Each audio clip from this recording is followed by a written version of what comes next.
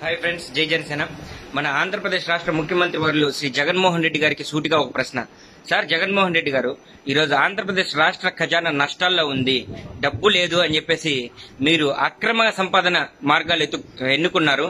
అవి ఏంటంటే విద్యుత్ ఛార్జీలు పెంచడం మద్యం ధరలు రెండింతలు పెంచడం ఈరోజు ప్రభుత్వానికి సంబంధించిన ఆస్తులన్నీ కూడా అమ్ముకొని క్యాష్ చేసుకోవాలనుకోవడం.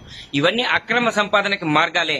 వీటిలన్నింటినీ మీరు సమర్థిస్తున్నారు కాబట్టి ఈ రోజు పేద మధ్య తరగతి కుటుంబాల దగ్గర కూడా డబ్బులు లేవు సార్. లాక్డౌన్ లాక్డౌన్ కారణాల వల్ల పనులు లేకపోవడంతో డబ్బులు లేవు. ఒకవేళ వీరందరూ కూడా ఈ అక్రమంగా సంపాదించాలి అని కొన్ని మార్గాలు వెతుక్కుంటే వాటిని మీరు సమర్థిస్తారా? ఎందుకంటే మీరు చేస్తే తప్పు కాదు ఎదుటివాడు చేస్తే తప్పు ఎలా అవుతుంది? అని ఆ కోణంలో నేను మేము సూటిగా ప్రశ్నిస్తున్నాను సార్. ఒక పేద మధ్య తరగతి కుటుంబానికి చెందిన వ్యక్తులు కూడా ఒక అక్రమంగా మనం కూడా సంపాదించుకుంటాం మనం కూడా నష్టాల్లోనే ఉన్నాం అని వాళ్ళు కూడా కొన్ని మార్గాలు ఎంచుకుంటే వాటిని మీరు సమర్థిస్తారా అని సూటిగా ప్రశ్నిస్తున్నాను సార్. ఇంకొకటి మీరు ఇంతవరకు ప్రభుత్వానికి సంబంధించినటువంటి భూములు అమ్మిన వివరాలు మరి ఎంతమంది పేద పేద ప్రజలకి ఆ వచ్చిన డబ్బుతో మీరు న్యాయం చేశారో దాని మీద కూడా ఒక శ్వేతపత్రాన్ని విడుదల చేయండి.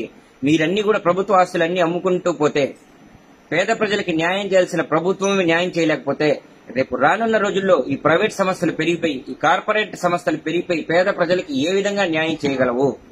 ఉదాహరణకి లేదు న్యాయం చేస్తుందని మీరంటే ఇప్పుడు వైజాగ్లో జరిగినటువంటి ఘటన ఎల్జీ పాలిమర్స్ అది కూడా ఒక ప్రైవేట్ సంస్థ. అది ఏ విధంగా అక్కడ ప్రజలకి న్యాయం చేయగలదు? పోయిన ప్రాణాలు తిరిగి తీసుకురాగలదా? అక్కడ జరిగినటువంటి ఆస్తి నష్టాన్ని మొత్తాన్ని భర్తీ చేయగలదా?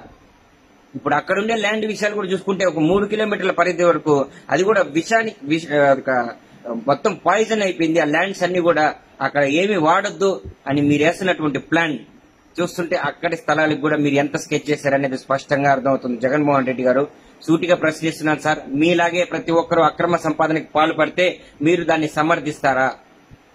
ఎందుకు ఎందుకు ఈ క్వశ్చన్ పదే పదే అడుగుతున్నానంటే వన్ ఫార్టీ ఫోర్ సెక్షన్ ఉల్లంఘన కేసులు సామాన్య మానవులు నిత్యావసరాల కోసం కూడా రోడ్లు ఎక్కితే ఈ పోలీసు వారు వాళ్ళని వన్ ఫార్టీ ఫోర్ సెక్షన్ ఉల్లంఘన కేసులు అని చెప్పి బొక్కలేసి వాళ్ళకి శిక్షలు వేస్తున్నారు ఇటువంటిది వాళ్ళ అక్రమాలకు పాల్పడితే మీరు ఎలా ఊరుకుంటారు? ఊరుకోరు. అదే మీరు పాల్పడితే మీరు ఇప్పుడు మిమ్మల్ని ఏం చేయాలి?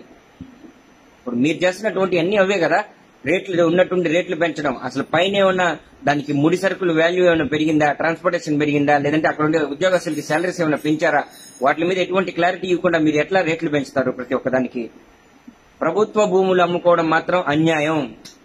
ఏదో అత్త సొమ్ము అల్లుడి దానం చేసినట్టు మీరు వచ్చి ప్రభుత్వాన్ని మేము అమ్మేసుకుంటాం. రేపు భవిష్యత్తులో ఏదైనా ప్రభుత్వానికి బ్లాండ్లు అవసరం అయితే ఈ రోజు మీరు అన్ని ప్రైవేట్ పరం చేసేస్తే రేపు భవిష్యత్తులో ప్రభుత్వానికి ఏదైనా భవనాల నిర్మాణాలకి ల్యాండ్ కావాలి. అప్పుడు మళ్ళీ పేద ప్రజల దగ్గర నుంచి మీరు పెరుక్కోవాల్సిందే కదా. అంటే మళ్ళీ ఎట్లయినా సరే అటు తిరిగి ఇటు తిరిగి పేద మధ్య తరగతికి సంబంధించిన కుటుంబీకులు రోడ్ల పాలు అవ్వాల్సిందే తప్పదు అనేది మాత్రం మీరు గట్టిగా చెప్తున్నట్లు అనిపిస్తుంది మాకు.